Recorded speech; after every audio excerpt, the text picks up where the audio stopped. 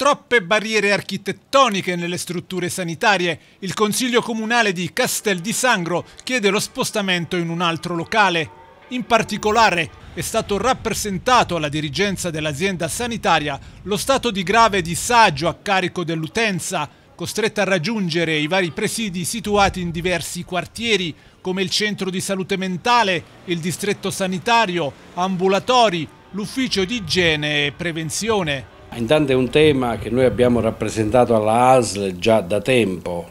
ovvero la frammentazione dei, di tanti uffici e presidi sanitari disseminati per la città, presidi importanti dal CIM al distretto sanitario, ambulatori,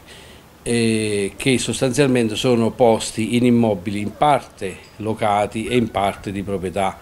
eh, comunale. Noi abbiamo sostanzialmente rappresentato all'ASL l'esigenza non solo di accorpare in eh, due punti questo tipo di situazione, ma soprattutto abbiamo detto che eh, abbiamo rappresentato all'ASL che questi immobili sono inadeguati dal punto di vista strutturale, ovvero sono muniti tutti di barriere architettoniche, dico tutti perché quasi tutti hanno questo tipo di ostacolo e sono presidi ovviamente che devono invece avere la massima accessibilità e la massima diciamo, capacità proprio di, di, di, essere sostanzialmente attinti dalla, dagli utenti. L'amministrazione comunale ha proposto un fabbricato realizzato in prossimità del pronto soccorso, costituito da una superficie di circa 300 metri quadri, già destinato ad ospitare il distretto sanitario di base, usato recentemente come pre-triage. Noi abbiamo rappresentato da prima verbalmente, io per primo ho, detto alla ASE che era necessario quindi eh, procedere in questa direzione, soprattutto perché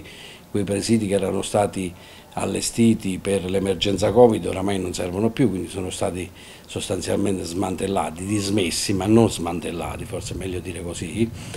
e, e quindi era opportuno farlo. Poi abbiamo eh, rappresentato eh, con nota già di, di giugno questo tipo di esigenze e da ultimo il Consiglio Comunale si è pronunciato affinché insomma, la massima, eh, diciamo, il, mass il, massimo organo, la massima assise del, del, del, Comune in data 14 luglio ha deliberato insomma, una, una sorta di ordine del giorno perché l'ASL prendesse in considerazione questa esigenza. Noi vorremmo che almeno i principi di settembre questo trasloco, questo trasferimento avvenisse perché insomma,